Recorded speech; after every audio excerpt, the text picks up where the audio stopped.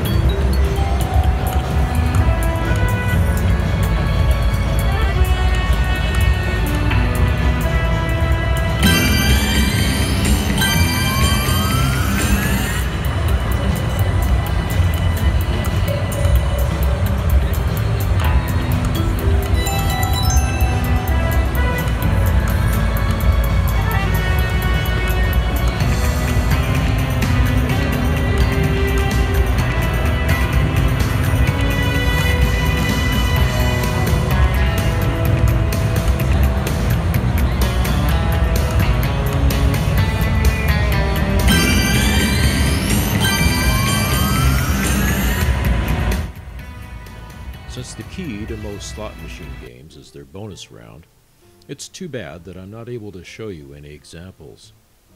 On the other hand, I overheard that the games that were being shown this day were still in the preliminary state and that the designs were still evolving. So, I guess you'll just have to wait until these games show up in your casino to find out how they play. I hope you enjoyed this video. Please like and subscribe leave comments and questions, and thank you for watching.